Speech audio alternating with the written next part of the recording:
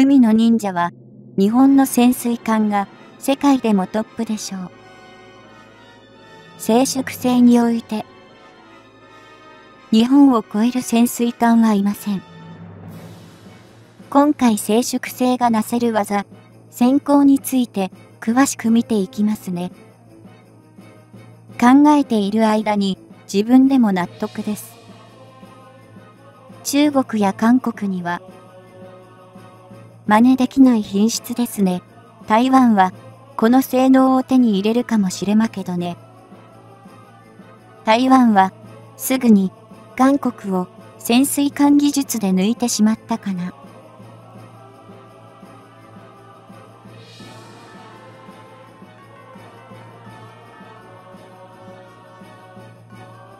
日本の海上自衛隊がその主要戦力として22隻体制を確立しつつあるのが、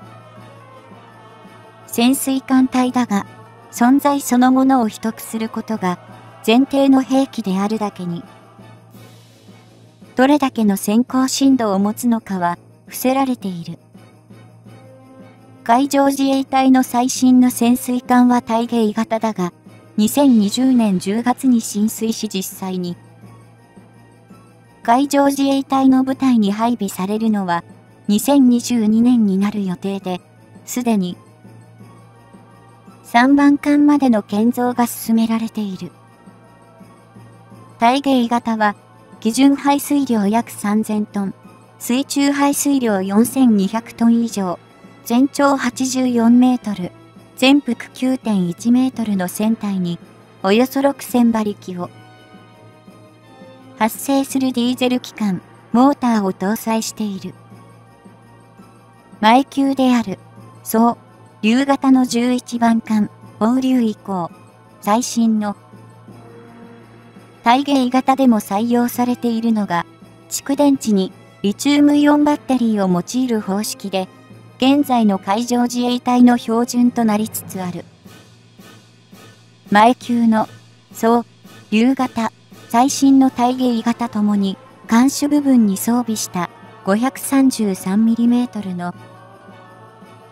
魚雷発射艦6門を主兵装とする通常動力型の攻撃型潜水艦であり、新型の18式魚雷やハープーンミサイルを発射可能だ。一時期、オーストラリア海軍の新型潜水艦計画、アタック級の選定に対して、日本は当時の、そう、竜型をベースとした潜水艦を提案していたが、採用には至らず、日本以外の使用国はない。こうした海外への輸出も基本的には行われないため、日本の潜水艦の先行深度は公にはされていないが、使用している鋼材や兵装である。魚雷の性能等から、おおむねね500メートル前後だと考えられている。この推定500メートルという先行深度が世界的な潜水艦の性能としてどの程度のレベルなのかといえば現在の艦艇の中でもトップレベルに位置する性能と見て差し支えないだろう。現在のアメリカ海軍の最新型でかつ主力であるバージニア級攻撃型。原子力潜水艦も、ほぼ同程度の能力だと推察されており、この前級にあたる CULF 級を除けば上回る潜水艦はほとんどない。バージニア級攻撃型原子力潜水艦は水中排水量7800トン、全長114.8メートル、全幅10.4メートルの大型の艦艇で、533mm 魚雷発射艦4門に加えて、12機のトマホーク用 VLS を持つ潜水艦だ。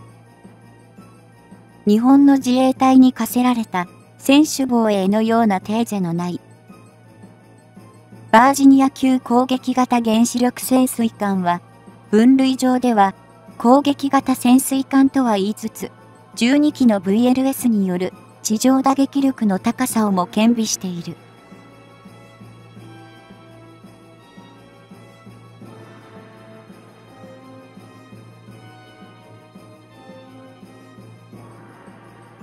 アメリカは、このバージニア級を2004年から収益させておりすでに、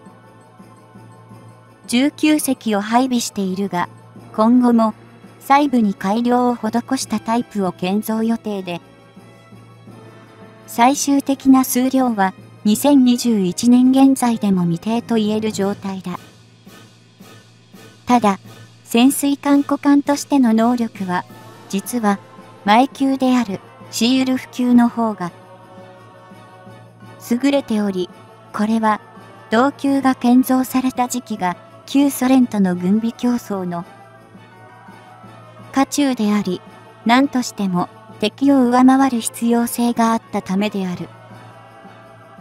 そのため、シーウレフ級は、水中排水量9150トン、全長107.6メートル、全幅12.2メートルとバージニア級を上回る規模を持ち、VLS は、装備していないが、660mm の大型魚雷発射管8門を搭載していた。シーウレフ級は、その後の旧ソ連の崩壊に伴い、以後はここまで高性能な攻撃型潜水艦を調達する目的が失われたため、わずか3隻の建造に止まったが、現役最高性能であることは揺るいでいない。このシーウレフ級の先行深度は、実に600メートル以上に及ぶと言われており、一番艦の収益は1997年とすでに20年以上前のことになるが、未だ世界で最高水準の性能を誇っている潜水艦である。次級となったバージニア級は、シーウレフ級の性能の75%で、良い代わりに建造コストを優先する潜水艦とはなったが、それでも前述の様な打撃力と十分な先行深度を両立していると言えよう。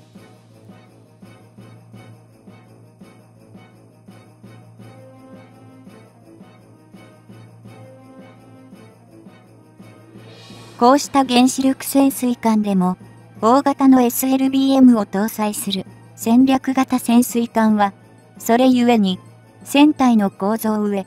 そこまでの先行深度を実現することは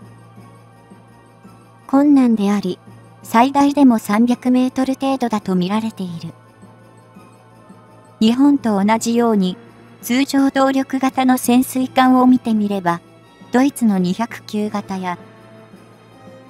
214型が本国以外の国にも輸出されている状態だが、先行深度は、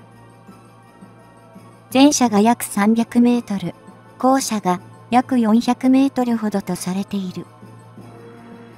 209型や214型は、日本の、そう、竜型や大芸型と比較しても輸出先の、国によって排水量も異なるものの、おおむね水中排水量で2000トン以下と、比較的小型であることが見て取れる。また、推進方式に関しても、ディーゼル機関及び燃料電池方式の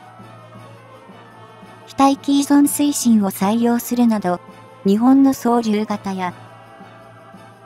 体芸型とは違ったアプローチで、性能確保を図っていると言えそうだ。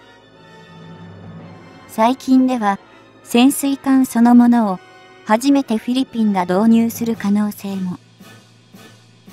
報じられているが、その候補に挙げられているフランス。スペイン共同開発のスコルペヌ級も約350メートルほどの先行進路となっている。